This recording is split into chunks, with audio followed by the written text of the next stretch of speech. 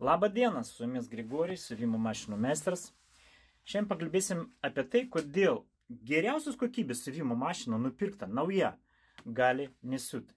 Arba siūti ne taip, kaip, kaip, kaip turėtų siūti.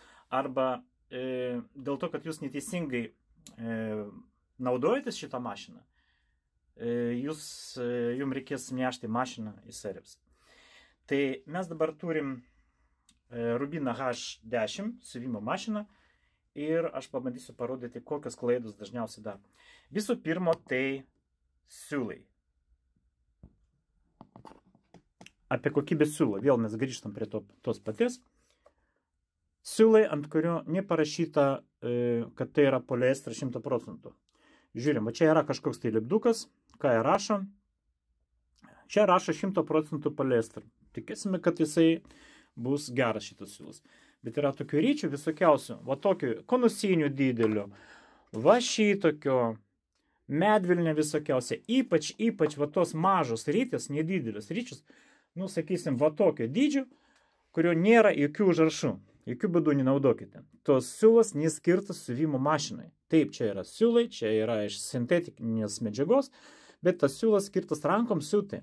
Rankom siūti su paprasta adata rankelė. Tai vakar atėjo klientė, čia buvo, nu, aišku, kita mašina, bet aš pastebėjau, kad siūlas buvo, va šitas didelis konusinis siūlas buvo uždėtas va čia. Jis savame supranta, jisai ten kliūna, kažkaip e, tašką užsikirta ir e, nesisuka. Dar už tai didėja įtempimas. O reguliatorius, siūlo įtempimo reguliatorius stovėjo ant nulio.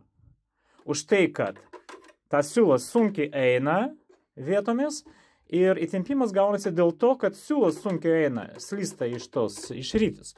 Nu, dar labai dažnai būna taip, kad uždeda ant to vertikalų strypų, uždeda kažkokią tai daikčiuką tokią ir tą rytį stato va šitaip va. Ir jinai sukasi. Irgi blogai. Nes ta rytė yra, yra sunki ir gaunasi taip, kad tuo metu, kada patraukia už siūlą, tai įtempimas va čia didėja, o kai atsiranda laisvas siūlas, tai jisai mažėja. Tai jokių būdų čia nestatykite ryte ir naudokite kokybiškų siūlų. Ką reikia padaryti? Jeigu, jeigu vis dėlto jūs turite tų didelių ryčių prie būtinės paprastos mašinos, jūs galite įsigyti va tokią stovą. Va yra siūlų stovas pas mus. Ir kągi mes darom? Mes statom rytę tą didelę va čia. Ir užkabinam viršui per kablį va šitą va, tokia skilutė yra. Ir dabar jau, tegul jisai ten stovės kažkur tai toliau. Ir dabar mes tiesiog galim verti siūlą ir siūt. Viskas tvarkoja. Jokių problemų. Vakar tą patį klientę Nu, aišku, jeigu va taip eina siūlas sunkiai ir tas siūlas nekokybiškas, jum lanksto adatus. Va šitos adatus, kadangi tempimas didelis, matot, įtempia siūlą e, adatą taip, kad jinai lankstosi. Ir per storą siūvant gali sulūžti, gali daužyti adatus plokštelę ir kojelę arba tą šaudiklę. Tai siūlas turi būti kokybiškas, turi lengvai eiti, jokių būdų didelių ryčių iš viršaus nestatykite. Tik tai va taip turi slysti per viršų kažkokį tai, nežinau, ūkiui, ūkiui galima vynį įkalti ir viršui kabliuką padaryti, kad slystų tiesiog, kad lentelės ten vynis, kabliukas iš viršaus ir slystas siūlas, jeigu be, be atplaišų. Dabar dar, sako, va šitos plastikinės rytis man sulūžo, lūšta, jos nestiprios, jos lūšta. Žinot, jos tikrai 10-20 metų neturi lūšti, jeigu jūs, na, nu, teisingai naudosite jos. Vėl, Kodėl lūšta va šitos e, plastikinis rytis? Plastikinis rytis tai yra gerai, nes mes turime ir metalinių ryčių, bet metalinė rytė, jinai prasisuka pagal inerciją. Kai mašina greitai siūna arba siūna zigzagu, jinai prasisuka, išeina tų siūlų daugiau negu reikia, jos ten kažkur pataiko ir plišta. Tai tiesiog, kada viniojat rytę, va, uždedam rytį, jungiam, tas siūlų įtempimas neturi būti didelis. Jeigu jūs pravesit pro tavą e, standartinį tempimą ir siūlos eis va taip per viršų, laisvai, mat, laisvai eina. Jokių problemų nebus. Neturi būti stipriai įtemptas siūlas. Kada įtemptas siūlas stipriai, jos tiesiog taip spaudžia kitaip priviniotą siūlą, kad jos lūšta iš viršaus, į viršų, laužo jos. Tai, o naudoti plastikinių reikia, nes metaliniai, kaip aš sakiau, blogai. Toliau. Dėl ko gali blogai siūt mašina. Dažniausiai pasitaiko tai, kad e, su horizontalė sistema šaudiklės, o čia kaip tik mes turim horizontalę sistemą šaudiklės, siūlas neteisingai įvertas. Kada aš viriu greitai, o rytė sukasi prieš laikrodžio rodiklę, pabandysiu padidinti šiek tiek. Taip, taip, taip. Kada aš dedu rytį, jinai turi suktis priešais laikrodžio rodiklės, va šitaip. Ir jeigu aš paskui veriu siūlo greitai, sakysim, va tai va, viens, du, trys ir nukirpa. Tas siūlas dažniausiai patenka ten, kur reikia. Bet jeigu e, nepatyrusi žmogus daro tai labai labai lietai, va taip po truputį atsargiai sudrebančios rankos ir o, ir matot, ką išėjo. Pažiūrėkit, mes įvesim dabar siūlą į šitą mašiną. Tai prašau už tą mano filmavimą, bet Aš pasistengsiu viską jums parodyti. Įvėrėm viršutinį siūlą. Taip, žiūrėkit. Vat dabar kaip tik tas siūlas neįvertas. Mes prasukam mašiną, ištraukiame viršų apatinis siūlas, op, ir žiūrėkit, kur eina siūlas. Matot? Siūlas eina ten.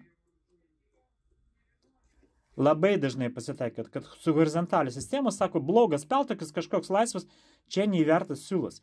Jeigu siūlas teisingai vertas, jisai turi gulėti ant rytis iš kairės pusės, iš viršaus. Dabar veriam tą apatinį siūlą iš naujo. Aš jums paturiu tiesiog, aš jums paturiu tiesiog, gal pirštų prilaikykite rytę iš kairės pusės, arba greičiau verkite tiesiog. Va čia uždedat rytį, pirštų prilaikot Ir dabar verit, kad būtų įtemptas tas siūlas. Ir verit pagal tos rodiklis. 1, 2, 3. Dabar mes ištraukiame viršų apatinį siūlą ir greičiausiai, kad jisai gulės ant rytis. Pradedu siūt, va, ištraukiu viršų, va. Va čia ant rytis iš viršaus turi gulėti siūlas. Arba tiesiog jūs greičiau verkit truputėlį. Ir tada viskas bus gerai. 1, 2, 3. Bandom iš naujo. Kursiulas ant rytis iš kairės pusės. Viskas gerai. Nu ir pagrindinė problema, dėl ko, dėl ko žmonės ateina, tai neįvertas viršutinis siūlas.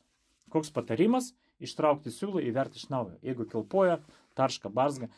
Tai būtent neužkabintas siūlas už vat už šitą va kabliuką, kuris vaikšto, matot, iš apačios į viršų vat, vaikšto kabliukas. Kai jūs veriat viršutinę siūlą, jum reikia nueiti į apačią, dabar į viršų ir dabar užkabinti už tą kablį. Jeigu jūs nematote to kablį, reikia prasukti mašiną, va, išlinda kablis, va taip, kabinat už ją ir dabar jau veriam mes į adatą. Tai, žinot, ko gero 9 iš 10 žmonių, kurie atėjo, nebuvo įvertas va čia siūlas. Tai tiesiog reikia patikrinti. Ištraukti siūlą aš patiriu ir verti iš naujo, pilnai. Nes būna praleidžia kažkur, tai ypač va šitą vietą ir už tai jums blogai siuva mašina. E, toliau, ką būna dar? Būna dar, kad e, siūlai tempimą reguliatorių pastato į nulį. Va šitai. Nu, sukinėja ten visus tos ten, ten, ten, ten. Ir kažkaip netyčia pastatė nulį. Tai laisvas siūlas. Čia yra siūlai tempimo reguliatorius. Siūlas neturi būti laisvas. Jeigu jisai laisvas, tai apačioje kilpos. Tai va, tai jeigu apačioje kilpoja, didinat, didinat iki normos. Pradėkit nuo normos, nuo 3 iki 5, būna net ir 6, priklausoma nuo to, koks siūlas ten yra, kokia medžiaga ir, ir kokia mašina. Tai va, tai siūlai tempimo reguliatorius. Ką dar? E, dar būna kreivio adata. Įstatyta kreiva adata arba adata buka. Jeigu yra kažkokie tai įtarimų, kažkokie tai garsai atsirado, siūvant medžiagą, siūvant. Vat, be medžiagos jinai siūva, pavyzdžiui, normaliai, o su medžiaga jum kažku, kažkaip tarška. Pabandykit pakeisti adatą. Galbūt ta adata yra buka. Nu, liktai šiandien tiek. Liktai šiandien tiek. Nu, jeigu ką nors sugalvosiu dar, arba jūs gal parašysit man, ką jūs norit, kokių, kokių klausimų turite, tai mes būtinai nufilmuosim jums e, naują video. Šiandien tiek. Nu, galbūt pastatykite tos laikus jau, jeigu negaila. taigi nesunku. Pastatykit laikus ir galite pasidalinti to video savo draugams ir pažįstamus, kurie vat, pradeda, ypač kurie pradeda siūti. Arba ne iš to, ne iš to, vat, problema atsirado kažkokia tai. Tai galite nusiųsti šitą video ir aš matai išgelbės situaciją. Su jumis buvo Grigorijus, siuvimo mašinų meistras. Sėkmės jums!